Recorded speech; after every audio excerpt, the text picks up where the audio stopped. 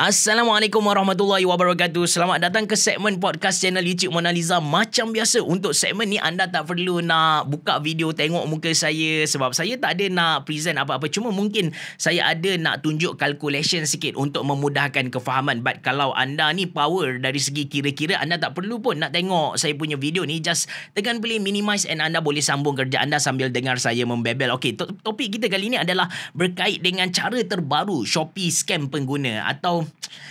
salah kot kalau guna perkataan scam. Mungkin trick lah. Cara terbaru Shopee trick pengguna untuk guna balik mereka punya e-marketplace ni. Uh, kalau anda selalu buka app Shopee, anda akan perasan lah. Especially kalau anda suka buka live dekat Shopee tu, anda akan perasan yang dekat live tu, dia ada offer kepada kita voucher yang mind blown punya. 90% diskaun. Bayangkan, anda beli produk yang harga dia RM1,000 Malaysia, anda hanya perlu bayar RM100 Malaysia. Sebab diskaun 90% bererti RM900 Malaysia kot kot. Yang penting anda kena beli ketika live tu. Tapi kalau anda tak buka live, anda pun akan perasan juga yang Shopee ada bagi voucher-voucher yang dulunya dah dimatikan macam contoh free delivery. Dulu ada lepas tu mereka matikan dan sekarang mereka bagi balik free delivery. Untuk untuk semenanjung Malaysia, mungkin voucher free, free delivery ni ada pada uh, double date sales ataupun payday sales saja tapi untuk Sabah Sarawak anytime free delivery voucher tu memang ada. Anda boleh check benda ni dekat Shopee. Uh, kenapa Shopee tiba-tiba buat balik benda ni? Adakah adakah mereka cuak dengan kehadiran TikTok Shop yang makin mengganas tu kan? Mungkin betul juga but based on pembacaan saya sebenarnya Shopee dia lagi takut dengan apa yang berlaku dekat Lazada. Recently sebenarnya Lazada dapat duit ataupun injection dari dia punya parent company which is Alibaba untuk Lazada semenanjung, uh, bukan semenanjung lah Asia Tenggara SEA Southeast Asia dia dapat sebanyak 830 juta USD injection sebanyak 830 juta USD kalau kita kali empat so kita dapat lebih kurang dalam mungkin 2.4 uh, 2, uh, 2400 juta ringgit Malaysia. Uh, berapa ringgit Malaysia dapat? Wallahu alam. Tapi bayangkan kalau Malaysia dapat around kita kata apa se, se 100 juta USD pun dia buat balik promotion-promotion yang dia pernah buat sebelum ni memang mati lah Shopee. Kita kena tengok sejarah e-commerce marketplace dekat Malaysia ni ataupun e-marketplace lah kan. E-marketplace dekat Malaysia ni mula mula kita Dekat Malaysia ni famous dengan mudah.my. So mudah.my dipenuhi dengan negro-negro yang scam. So ramai yang berpindah ke lelong. Uh, lelong.net tak silap saya. Lepas tu lepas lelong uh, Lazada datang. Lazada datang. Lepas tu diambil alih oleh Shopee sebentar. Shopee dikalahkan oleh 11 Street. Lepas tu Lazada naik balik. Lepas tu Shopee naik balik dan Shopee pegang tahta sampai sekarang lah. And sekarang yes kita boleh nampak TikTok Shop tengah growing. Tapi anda kena tahu satu fakta yang pada tahun lepas sebenarnya Shopee pegang market share sebanyak 40% Lazada yang mungkin kita kata tu suam-suam kuku tu Lazada tu pun sebenarnya dia pegang 20 market share e-marketplace di Malaysia ni. Yang lain tu main sekitar 5-10, 5-10 macam Zalora 5 hingga 10% sahajalah. Of course, untuk tahun ni TikTok Shop dia akan grow lah. Saya punya XT, uh, expectation, saya punya uh, ramalan, saya merasakan TikTok Shop akan take over Lazada punya percentage untuk 2023 ni ataupun 2024 nanti. Kalau Lazada dia tak guna funding yang diberikan oleh dia punya parent company tadi. So, balik pada topik kita iaitu berkenaan cara baru Shopee dia scam ataupun trick pengguna. Sebenarnya dia balik kepada promosi tadi. Tapi sebelum tu saya tak nak anda salah faham saya buat video ni bukanlah nak cerita tentang uh, kalau anda tonton saya punya podcast sebelum ni saya ada kongsikan tentang bagaimana kita boleh cash out kan kita punya Shopee Pay Later. So dekat Shopee ni ada satu facility ataupun uh, yalah kita panggil facility kewangan yang mana kita boleh beli produk dekat sana secara ansuran which is dia bagi facility nama tu sebagai Shopee Pay Later. Dengan Shopee Pay Later ni ada segelintir ataupun segolongan manusia dia cash out kan benda ni secara tunai. Dia tak beli produk tapi dia cash out kan dengan dia cash out kan duit tu lah. So setiap orang ada limitation dia. Ada orang boleh guna Shopee Pay Later sebanyak seribu, ada orang boleh guna enam ribu. Maksimum setahu saya enam ribu tapi saya kenal seorang manusia yang dia punya Shopee Pay Later boleh pergi sampai lapan ribu ringgit Malaysia.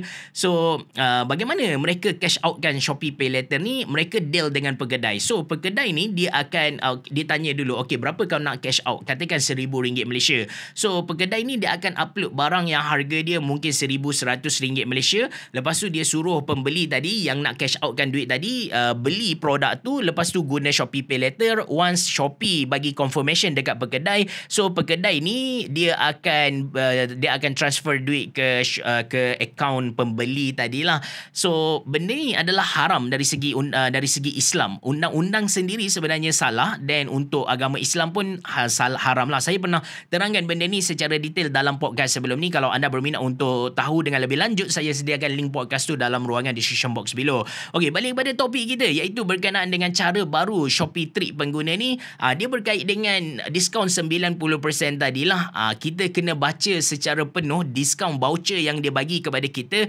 Sebenarnya dia tak mati dengan 90% sahaja. Tapi dia ada tulis cap berapa ringgit Malaysia. Dia bagi diskaun 90% dia cap RM20 Malaysia. Dia bagi diskaun kepada kita 80% tapi dia cap kepada kita uh, sampai RM10 Malaysia. Ataupun dia bagi free delivery tapi cap RM20 Malaysia.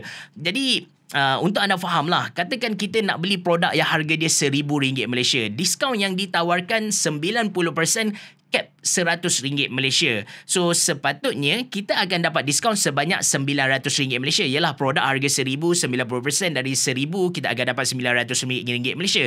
Tapi disebabkan dia cap sampai RM100 Malaysia, diskaun yang kita dapat adalah hanya RM100 Malaysia. Ataupun saya bagi contoh lagi supaya anda faham uh, kenapa saya saya rasa benda ni tak tipu pun sebenarnya cuma kita kena jadi pengguna yang bijak kita kena baca dia punya term and condition sebab contoh yang kedua katakan produk yang kita nak beli tu harga dia RM10 Malaysia dia bagi kepada kita voucher diskaun sebanyak 90% de, uh, dengan dengan cap uh, RM12 Malaysia so dalam kes kali ni 90% dari RM10 Malaysia adalah RM9 Malaysia diskaun yang dia offer kepada kita cap pula adalah RM12 Malaysia jadi kes kali ni kita akan dapat total diskaun sebanyak RM9 Malaysia. Sebab apa? Sebab dia tak sampai cap tadi. Jadi untuk produk RM10 tu kita hanya perlu bayar RM1 Malaysia sahaja.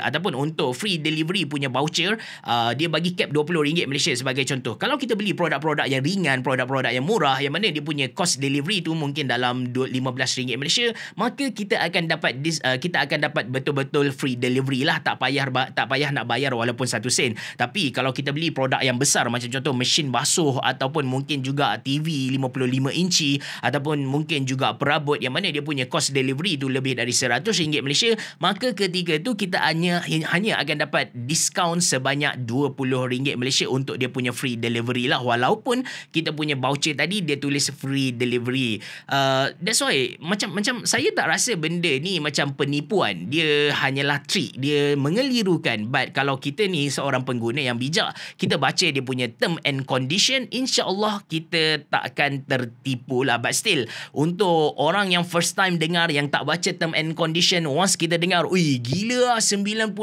diskaun, mesti beli punya benda ni kan. Ha, itulah bila kita dah masukkan dalam cards, kita nak check out, kita nak buat payment, eh tengok-tengok, eh mana free delivery-nya? Tak ada free delivery. Kenapa kena bayar RM2 juga? Sepatutnya free kan? Ha, tapi ada kena bayar juga. Ha, sebab itulah. Jadi, maka kita kena jadi pengguna yang bijak. Kita kena baca dia punya term and condition, everything. Nak kata kalau dekat Australia, saya percaya yang mereka akan kena saman lah sebab benda ni mengelirukan. Dia tak tipu, dia mengelirukan and law dekat Australia dia sangat-sangat strict. Setahu saya ada satu case dekat Australia, Air Asia, Air Asia disaman disebabkan dia punya promo tu. Air Asia kan dia suka buat macam promo Kelantan ke Kuala Lumpur seringgit Malaysia. Lepas tu ada letak macam bintang dekat atas tu. So dekat bawah tu baru dia tulis term and condition dan sangat-sangat kecil lah. So dekat Australia dia buat benda yang sama pada satu ketika dahulu dan uh, pengguna dekat Australia dia saman balik Asia dia kata dia punya promo tu mengelirukan. Kenapa?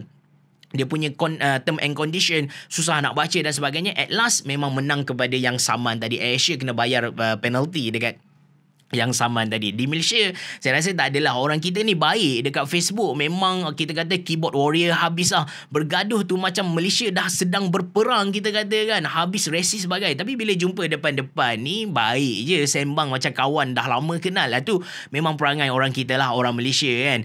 By the way, uh, in case anda nak cari satu wireless mechanical gaming keyboard, saya nak recommend anda beli satu wireless mechanical gaming keyboard yang saya pernah review sebelum ni iaitu Dark Flash GD100. Ini adalah full size keyboard cuma size dia compact and dia jenis wireless. Saya suka dengan dia walaupun dia tak datang dengan RGB, dia tak ada LED tapi dia punya produk tu keycap dia tu dah datang dengan dua tema dah. Anda boleh beli yang macam saya pernah review warna hitam, warna orange tu cantik juga ataupun anda boleh beli yang warna macam coklat-coklat lebih lebih relax, lebih lebih lebih subtle gitu. Ah, anda boleh beli. Link beli dalam ruangan description box below. Kualiti yang anda akan dapat seriously memang terbaik punya lah. Itu saja untuk video kali ni kalau anda suka dengan podcast macam ni anda boleh. Mungkin anda boleh kongsikan pendapat anda apakah topik yang anda nak saya sembang dalam ruangan description box below. Terima kasih kerana menonton. Assalamualaikum warahmatullahi wabarakatuh. Bye jumpa lagi